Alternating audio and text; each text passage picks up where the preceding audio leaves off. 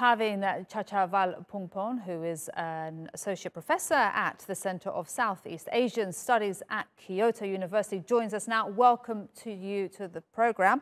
Um, can you see the Prime Minister stepping down?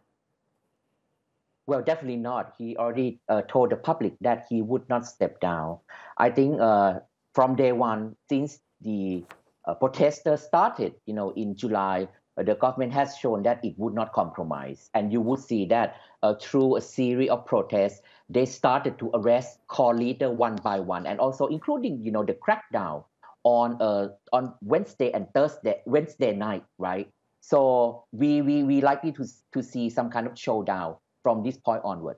And so these protest leaders have been arrested. What do you think happens next, um, given the fact that they are, you know, Thailand does have some of the world's strictest uh, laws when it comes to criticizing the royal family?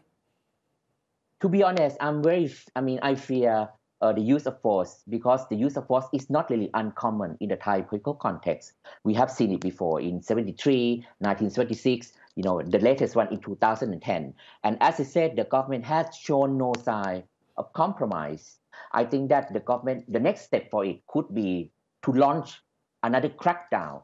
And as we speak now, I think a lot of Thai people start to gather together at the Ratchaprasong intersection. And today is Friday evening. So I don't know what's going to happen next. I hope that there would not be another crackdown. And who exactly are the protesters? And, and how is it different from other protests that we have seen in those other years that you have just mentioned?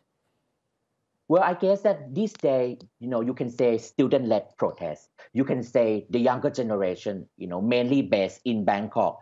They are quite different from previous uh, protester.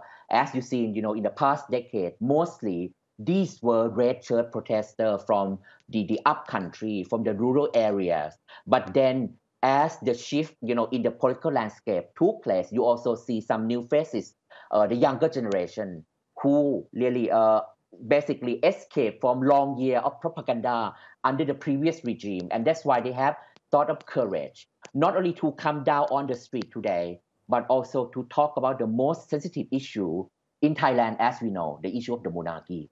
And, and tell us a bit more about that because it, it, has some of the world's strictest laws um, for criticizing the monarchy, up to 15 years in prison. So why is it so, so important to see what these protesters are doing now?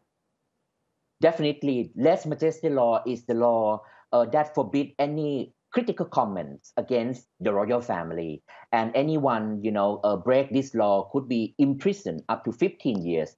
That's why you know this law become a sort of a political weapon for anyone you know who who want to undermine their opponents. And that's why i keep saying that you know the younger generation today they are very courageous in tackling the issue knowing the risk that they must take, uh, including you know being imprisoned for raising an issue about the monarchy. And the last point is that you know the the, the, the student came up with with a number of demands. These demands focus on an immediate monarchical reform. Exactly, the lese majeste law is one of the this whole package that has to be reformed if Thailand want to move forward to become a democratic country.